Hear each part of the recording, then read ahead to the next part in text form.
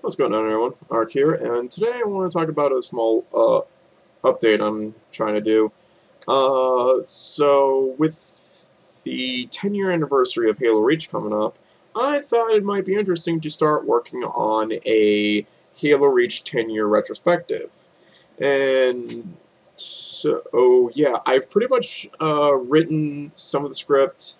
Um, all that needs to be done is voiceover work, uh, editing, uh, getting the footage. I can do all that easily, and I'm going to try and get it done uh, before the release date so I can upload it and have it ready uh, by the time it releases to, you know, kind of commemorate 10 years of Halo, of Halo Reach. And uh, a little bit of my personal experiences with that game, because, you know, I fucking love that game.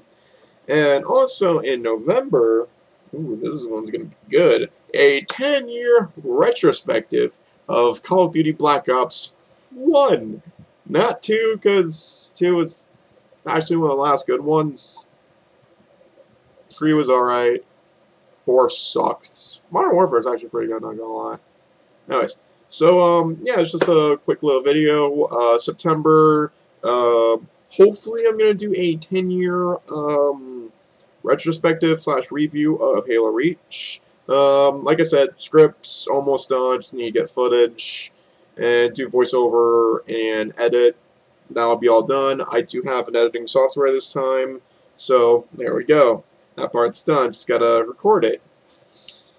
Uh, good.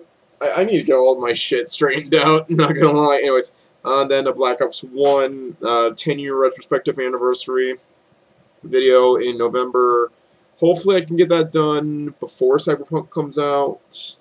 Um, I know that one would be like really easy to make because it would just be like campaign footage, maybe a little bit of multiplayer, and of course fucking zombies. Uh, so yeah, it's just a quick little video, and so uh, short summary. Uh, September Halo Reach review for 10 year anniversary. Uh, November, Black Ops 1 10 year anniversary review, and also Cyberpunk in November. So, uh, yeah, that's it. See ya.